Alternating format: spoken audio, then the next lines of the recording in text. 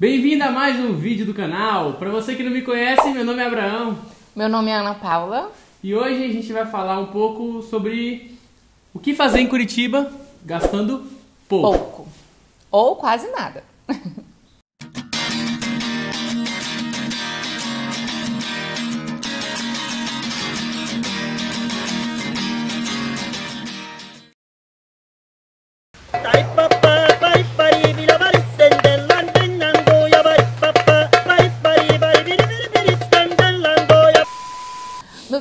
hoje, nós selecionamos seis passeios gratuitos que você pode fazer em Curitiba. Mas fique com a gente até o final, porque lá no final também nós vamos dar dicas de passeios que são pagos, mas com um valor simbólico. Um valor bem barato e acessível ao bolso de todo mundo. É, e que você pode escolher gastar ou não. Passamos por Curitiba no ano de 2020 e. Peraí, foi- amor, que eu- o meu nariz tá tipo. Tá frio aqui, meu nariz tá escorrendo. E no ano de 2020 nós fomos a Curitiba e passamos três dias em Curitiba. Curtimos bastante, conhecemos muitos lugares legais, conhecemos quase todos os parques em Curitiba. Foi um passeio inesquecível. Quem nos conhece sabe que a gente gosta mesmo é de estar no meio da natureza, né, de praias, mas Curitiba foi uma cidade grande que nos surpreendeu bastante pela sua quantidade de parques e pela diversidade de coisas que você consegue fazer lá. Começando pelo Parque Barigui, que é um parque urbano, onde as pessoas fazem caminhada, fazem suas atividades físicas, é, tem treinamento funcional e tudo mais. Então, se você quiser fazer uma atividade física em Curitiba, quer caminhar, é, quer andar de bicicleta, pode ir lá no Parque Barigui que você vai gostar bastante. Inclusive, o Parque Barigui é cheio de capivara também, você consegue chegar pertinho das capivaras lá, ver os cocozinhos da capivara. Outro parque que você não pode deixar de conhecer é o Parque Tanguá.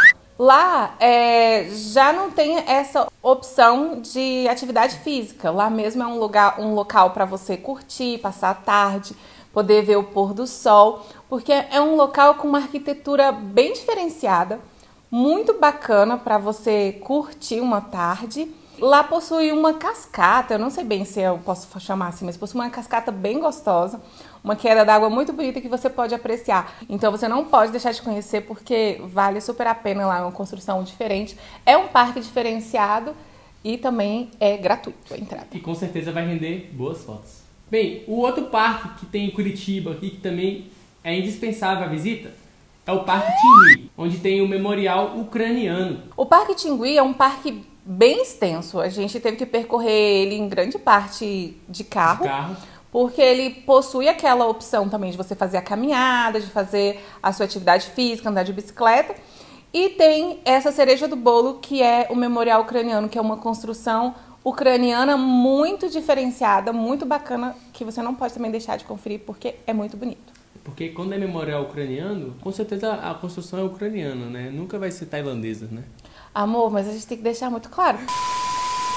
O Parque Tingui, ele já tem uma característica mais natureza do que os outros dois parques anteriores que a gente citou aqui. E o mais legal é que mesmo em contato com a natureza, todos esses parques eles ficam muito bem localizados dentro da cidade, né? Não é um local tão afastado, então Sim. o acesso é fácil. Uma outra opção de passeio que você pode fazer em Curitiba, totalmente gratuito, é o Bosque Alemão. Nossa, eu me apaixonei pelo Bosque Alemão, porque ele, ao longo do bosque, ele conta a história de João e Maria. E é muito legal, porque além de ser legal para você levar crianças, eu adoro contos de fadas e achei uma viagem no tempo, então eu fiquei apaixonada pelo Bosque Alemão. Lá você vai fazendo uma trilha e no, e no percurso você tem partes da história do, de João e Maria. Até você chegar na casa da bruxa no final. É bem legal, assim, é todo uma, tem todo um contexto assim, dentro do, do bosque alemão. Exatamente. E dependendo do horário, existe lá né, é, a atração no qual tem os artistas que contam a história e fazem encenação na Casa da Bruxa para as crianças, o que é bem interessante. Realmente lá é um bosque, né? Tipo, É. que às vezes o parque só tem um nome, mas não, lá a mata é bem fechada. Então, parece que você, ao entrar no, no bosque, você parece que você já está entrando em outra cidade, em outro local. É muito gostoso o lugar, compensa demais. A nossa quinta dica é, não é um parque, mas é como se fosse. E foi algo que nos surpreendeu bastante. Universidade Livre do Meio Ambiente. Quando nós fomos a Curitiba, nós ficamos assim meio receosos, não, passear numa universidade, né? Tipo, será que vai compensar esse passeio? Nossa, você entra na universidade e parece que você tá num parque ecológico, tipo, de tirar o fôlego. Com certeza lá era um lugar que a gente nem nem esperava conhecer, a gente nem tinha Peraí, planejado. amor, acho que eu tô tendo uma contração. Não, é sério, meu coração tá acelerando muito. Contração? É sério? Quer pro hospital? Não. Acho que tá melhorando, mas já é a segunda vez que eu sinto meu coração acelerar muito. Eu ter meio de minha pressão ali já já. O nosso anfitrião lá em Curitiba, o Wilson, ele nos, nos levou até essa universidade, nos mostrou grande parte desses locais aqui que a gente está falando. E realmente é uma coisa que a gente nunca se arrepende de ter visto, porque a Universidade Livre do Meio Ambiente é um verdadeiro paraíso no meio da cidade. É, tem uma lagoa, tem um grande paredão de pedra assim, e uma escada, tipo uma escada de madeira, uma rampa de madeira onde você vai subindo assim, é, chegando ao topo das árvores. Coisa linda assim, é bem, é bem bonito o lugar. É um passeio que vale muito a pena e é gratuito. A sensação que dá é que as salas de aulas é como se fossem, sei lá, enormes casas na árvore, ou seja, as pessoas estudam ali no meio daquele, daquela paisagem linda e eu fico imaginando que com certeza a aprendizagem ali vai ser muito mais efetiva só pela atmosfera do lugar já passar aquela tranquilidade e essa sensação boa que a natureza nos dá. Bom, e para fechar essa lista de parques gratuitos, não podia ficar de fora, que a gente deixou por último, aquele que todo mundo conhece. É o Jardim Botânico. Exatamente. Você ir para Curitiba e não tirar foto no Jardim Botânico é perder o cartão principal da cidade. Porém, é um parque que está sempre cheio de turistas, sempre muito lotado. Então, se você quiser pegar ele mais vazio ali, a recomendação é chegar bem cedo. E também é um, é um lugar que dá para você aproveitar bastante, para você, sei lá, sentar, fazer um piquenique, curtir uma sombra de árvore. É um local que dá para você curtir, não só ir tirar foto. Bom, esses são os parques, né, gratuitos, passeios gratuitos que você não vai se arrepender de conhecer. E a gente vai listar aqui algumas opções que você pode fazer gastando pouco, né, para você saber ali também o, quais são as opções de passeio dentro de Curitiba.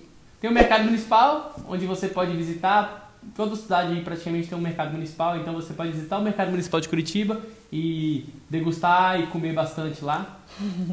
Também tem o bairro Santa Felicidade, que é um bairro todo cheio de restaurantes com várias opções ali, de também de todos os preços, de todas as escolhas para você se divertir tanto de dia quanto de noite. E você sabe por que, que o bairro chama Santa Felicidade, né? Que a felicidade das pessoas é comer. Então, o bairro lá, ele é praticamente voltado para gastronomia mesmo. Comer e beber. Comer e beber. Inclusive, a gente degustou muitos vinhos lá, Abafa, nesse bairro, abafa, e abafa. até compramos alguns vinhos É, também. Muito bom, muito bom. Ai, deu até saudade agora. Também tem a torre panorâmica, que você paga um valor bem simbólico e você consegue ter uma visão panorâmica da cidade. O Museu Oscar Niemeyer, que foi projetado pelo arquiteto Oscar Niemeyer. e também é um valor. Eu não sei quanto que é para entrar lá. Ah, também já deve ter mudado o valor, né? É.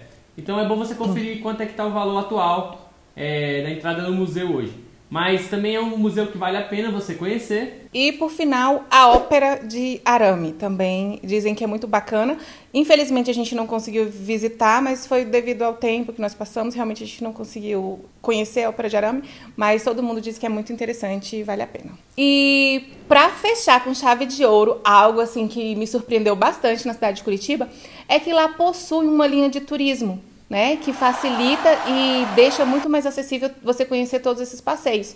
Essa linha de turismo, você compra um ingresso, também eu não vou falar os valores, porque já deve ter alterado, mas você paga um dia e você pode andar nesse ônibus e tem direito a quatro paradas, ou seja, você vai pagar um valor e você vai ter direito de andar nesse ônibus para descer e subir no, no ônibus apenas com uma passagem e conhecer vários desses pontos turísticos. Ele passa por toda a cidade, passa por todos esses pontos turísticos e com apenas um ingresso.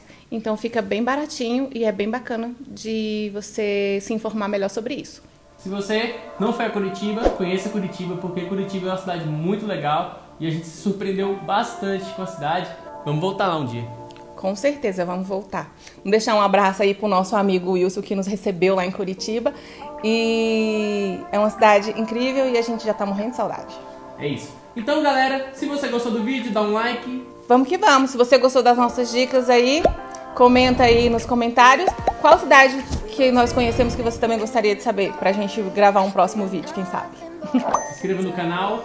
Um grande abraço e Vamos que vamos. We are, we are reaching for the stars, but we're made